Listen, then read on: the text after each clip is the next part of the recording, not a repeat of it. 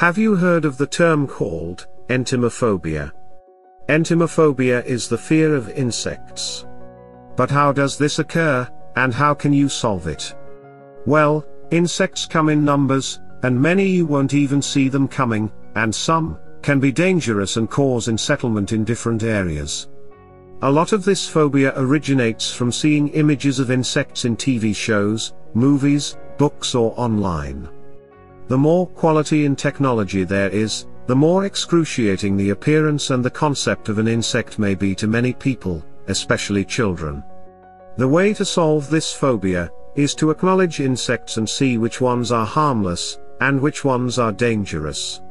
So for example, you may get black ants of whom are completely harmless, but you do not want them lurking over your food. One could be bees, which are very helpful for the environment helping pollinate our very planet, but they do sting people through self-defense. Another insect to learn about could be mosquitoes which if they do get to you, they could cause serious harm.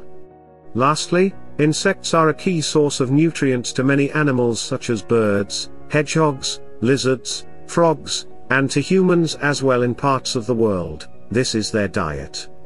So keeping clean especially, and not leaving food around and most of all research of insects is the best way to tolerate them, because after all, you are much bigger than them, and with knowledge you will handle them, and many of them, help the exact planet, that we live on.